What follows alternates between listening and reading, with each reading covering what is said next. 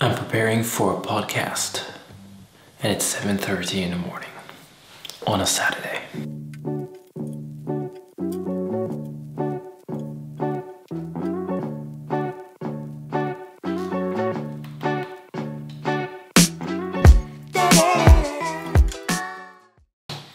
I'm done with the interview and we'll see what else happens today.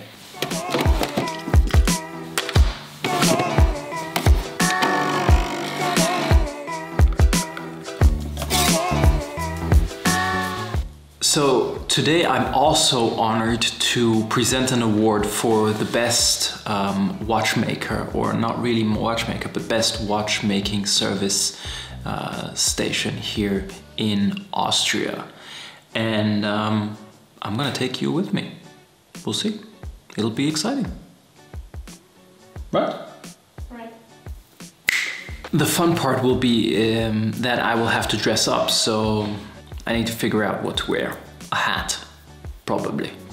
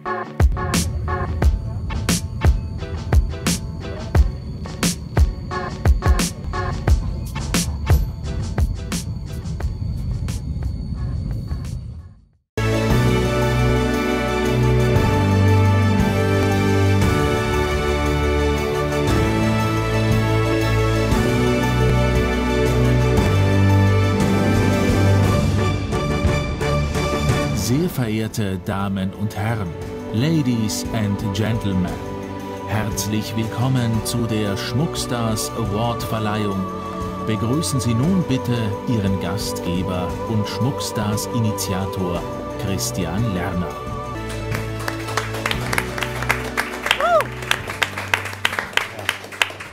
Und ganz besonders danken möchte ich heute unserem Star-Moderator, der den Abend heute leiten wird, der kurzfristig sich entschlossen hat, hier uns zu unterstützen. Und ich würde Sie bitten, begrüßen Sie mit mir gemeinsam mit einem riesigen Applaus Alfons Heider.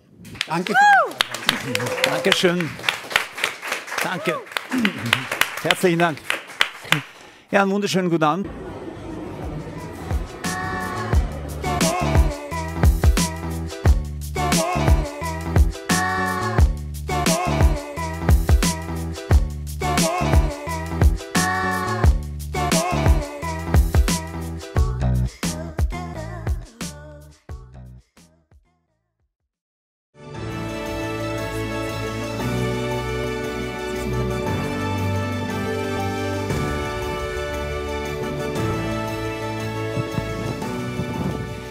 Wir kommen jetzt zur Uhrenwerkstätte des Jahres. Wer bekommt den Schmuckstar 2020? Bei der Wahl zur Uhrenwerkstätte des Jahres standen umfassende Kompetenz, technische Ausstattung und herausragendes Kunst- und Kundenservice im Fokus. Als Laudator habe ich einen Mann, der wie keiner so viel weiß, nämlich nicht über nur Uhren, sondern auch, wie man sie richtig platziert und trägt. Bitte begrüßen Sie mit mir Nikolaus Hirsch.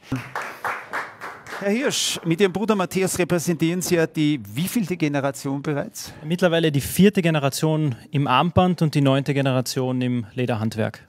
Welche Symbolik hat Ihr wunderbarer Hut? Vieles.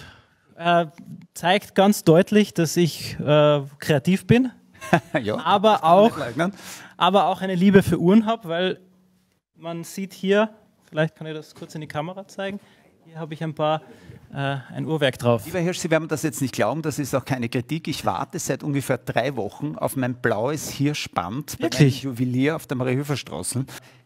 Der Trend äh, bei den Armbändern, äh, bei den Uhrarmbändern, geht der wieder in, in kräftigere Farben oder ist es doch das Dezente, das wieder wirkt? Also es geht definitiv in die kräftigen Farben. Also man sieht es ganz stark auch bei den Ziffernblättern, bei den Uhren. Die Leute werden ein bisschen kreativer und ein bisschen mutiger, was die Farben anbelangt. Und ich glaube, es ist auch gut so. Gut. Der Schmuckstar Uhrenwerkstätte des Jahres 2020 ist Juwelier Kopf aus Götzis.